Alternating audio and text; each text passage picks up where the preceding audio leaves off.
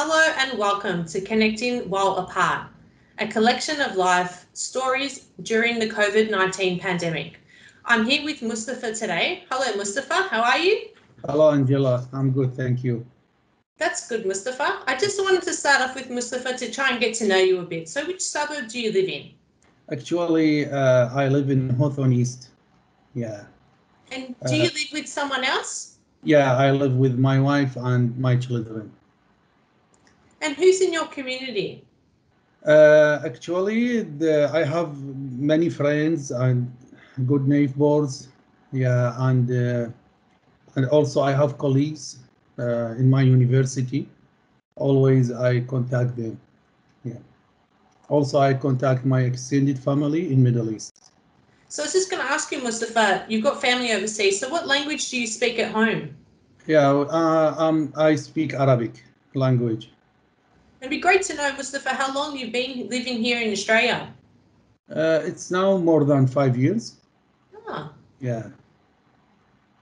And so, Mustafa, I want to uh, focus a little bit on what are some of the positives that you've experienced during the COVID 19 restrictions that's changed you and your community? Actually, there are many positive points. Uh, I think it's also it's more than negative points. Uh, that's the positive points in terms that uh, uh, in for family and friend that I spend more time with my family during the lockdown, which I feel it is a good opportunity for us to spend more time with family.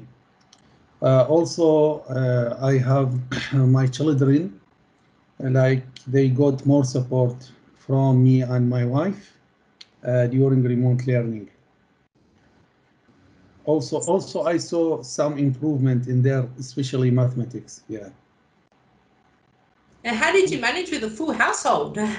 Did you get out and about? Did you do some park? Yeah, actually, uh, one of the positive points that I found out uh, during the lockdown was I found out the beauty of my suburb when I was walking for an hour every day and found out the local parks. Uh, there are there are many beautiful parks uh, in our area which I didn't visit before the lockdown. Yeah, mm. and uh, also exercise outdoor. I feel it is it is uh, nicer or more active than gym. That is, I realized this also. Uh, in terms of uh, shopping, I, I, I used to shop during the lockdown uh, using online shopping, which was very active, especially from Coles. Yep. And I think those people were very supportive to community as well during the curfew. Also, uh, uh, uh, I was writing my thesis. It was a good time and perfect time that I focus on my writing there are also some services I want to mention they are supported during the lockdown, like CamCare. Uh, those people also they they are supportive service actually before and during the lockdown.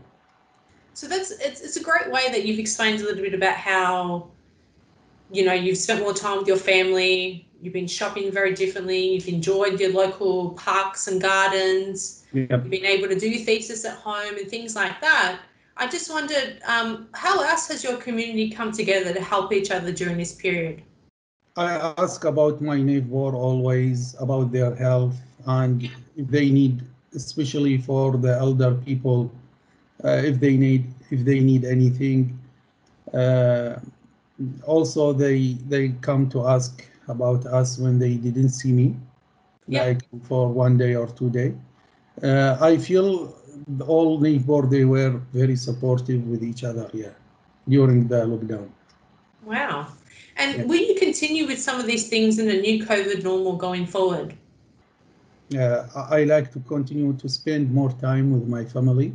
Mm-hmm. Would make uh, the person more happier and more supportive, especially for their kids yep. uh, in their study. Also, I recognize that shopping online uh, it's uh, more active in terms of saving time and choosing the, su the suitable material. that you need. Yep. And what message would you give to someone if they're unwell? I because I'm originally from Middle East. For that, I I I think I want to to tell the the people here that I think we are lucky because we live in a place where human more important than economy, and we have a developed medical service comparable with many parts around the world. Then actually the Boroondara community, this this uh, they are lucky in my opinion. Yeah.